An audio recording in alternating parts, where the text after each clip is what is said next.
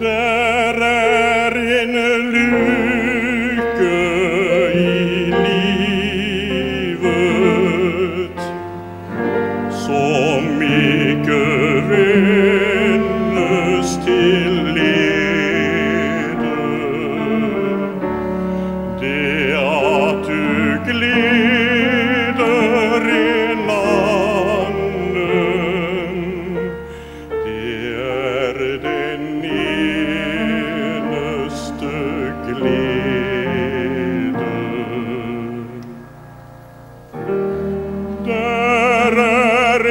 smerte